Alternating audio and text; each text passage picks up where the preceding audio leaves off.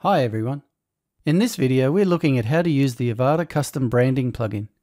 This was recently renamed from Fusion White Label Branding and updated for the new Avada 7. Today I'll go through the various settings pages and then import some previously exported settings to show you how different things can look. Make sure you subscribe to our YouTube channel to keep up with all the latest videos like this one. And if you don't want to miss one, click the bell icon to get notifications of all new videos on our channel. Okay, let's begin.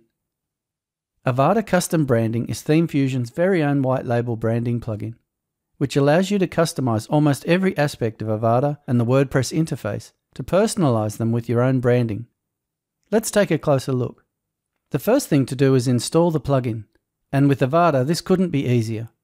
Just go to Avada Plugins Add-ons from the WordPress dashboard or Maintenance Plugins Add-ons from the Avada dashboard mouse over the Avada Custom Branding plugin and click Install. This adds the plugin with one click. And when it's done, adds an Avada branding menu to the WordPress dashboard. If we click on this, it takes us to the welcome page, and there are a series of links along the top to help you configure your site. There are three main sections, WP Admin, WP Login Screen, and Avada and an Import Export tab which you can use to take backups of your settings or import them into another site.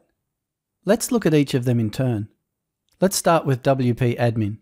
Here in the WordPress Admin Branding Settings area, there are a number of settings we can use to change the look and feel of the WordPress admin area for your users.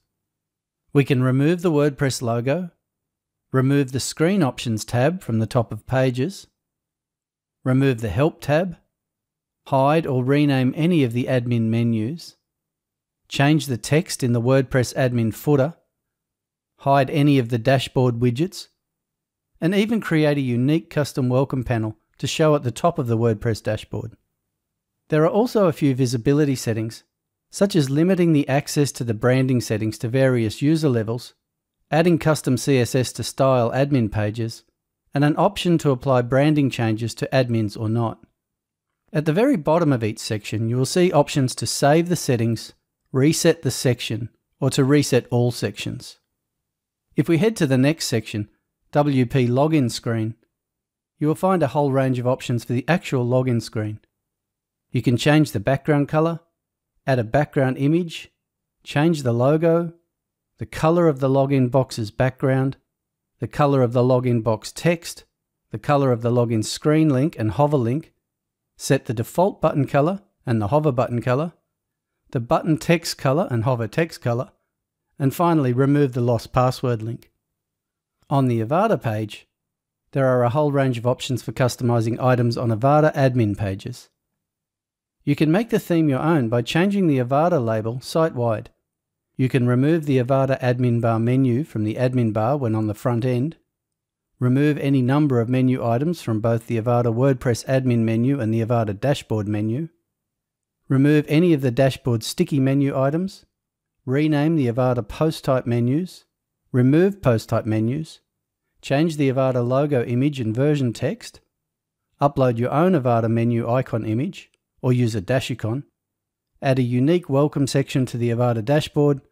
Remove the additional resource links remove the Avada admin dashboard footer, and finally, upload an icon image for the Avada custom branding menu or use a dashicon instead. Import Export is the last link in the toolbar, and here you can export your settings as a JSON file, either as a backup or so you can import them to another site. Under the export settings, you can export the settings for individual sections or all sections at once. And under the import settings, you can import a previously exported JSON file. Now, there are a lot of settings in Avada custom branding in a lot of different areas, and they are hard to visualize. So here I will import some settings that I previously exported using the same panel. I will just choose the file here and click on Import Settings, and I get a little tick to show it has been done. So I have imported quite some changes here. Okay, let's start with the login screen. I'll just log out and we can now see my custom login screen with the custom colors and logo. Very nice. I'll just log in again. And now we can see quite a few changes. I have only made a couple of changes to the WordPress admin area. I've hidden the Theme Fusion News panel, and at the top of the page I've added a custom dashboard panel. The rest of the changes are coming from the Avada tab. Notice how there are new icons down the side instead of the usual Avada ones, and new labels, with D3 replacing every instance of Avada throughout the theme. If I head to the D3 dashboard, we can see another new icon at the top, a D3 Live button, a different version number, a custom welcome panel, and the additional resources and footer links are gone. If we mouse over some of the links, we can see that everywhere refers to D3 instead of Avada. This branding extends right through the builder, both in the backend builder as we can see here, and the live builder as well. You can use as little or as much of the Avada custom branding options as you like. And with this nifty little tool, you can bring your own custom branding to Avada and make yourself look as good as Theme Fusion. Okay, this concludes our video on how to use Avada custom branding. Make sure you subscribe to our YouTube channel to keep up with all the latest videos. And if you have any questions or need assistance, please create a support ticket and our team will gladly assist you. As always, we want to thank you for choosing Avada.